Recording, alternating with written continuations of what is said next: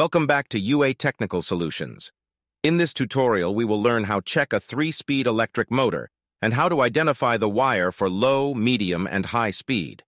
Multimeter is used to read the resistance between the wires to determine the wires for different speed and the common wire of the motor. As shown in the video, we have total four wires, red, yellow, black, and blue. Let's start reading resistance with blue wire to other three wires. Blue and black wire reads 82 ohms.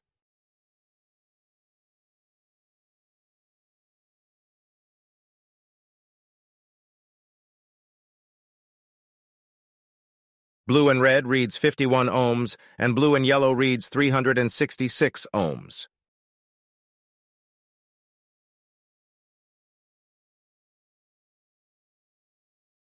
Now let's read the black wires with the other two wires.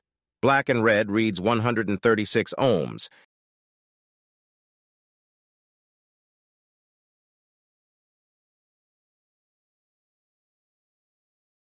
as per the resistance in between the all four wires.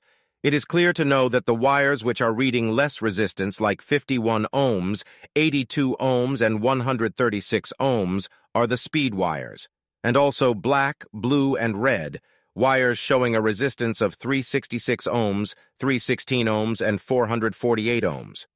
With the yellow wire determines that yellow as common wire. Now we know yellow is common and red, Blue and black is used for low, medium, and high speed. Let's find out which wire is for which speed. Yellow and red shows the lowest resistance of 316 ohm means it is the high-speed wire. Yellow and black wire shows the highest resistance of 448 ohm, which means black wire is the low speed.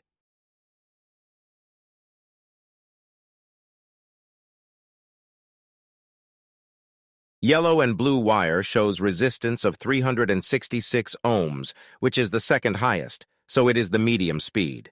Thank you for watching. Please do subscribe us at UA Technical Solutions.